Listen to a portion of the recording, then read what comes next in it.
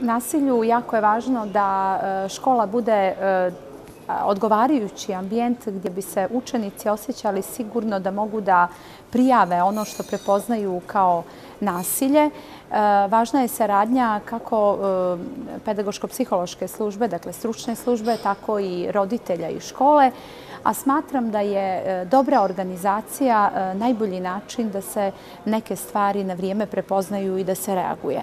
Ehm, svaka škola je u obavezi da ima odgovarajući akcioni plan eh, u borbi protiv nasilja, a jedan od eh, važnih programa ovog akcionog plana jeste i program eh, za suzbijanje, odnosno za preventivne akcije u suzbijanju nasilja.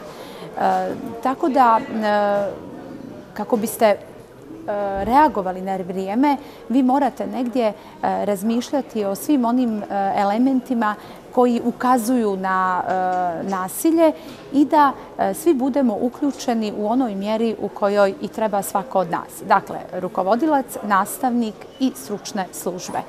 E, roditelji eh, često eh, se pitaju kome najprije da se obrate u školi i kakva je to procedura.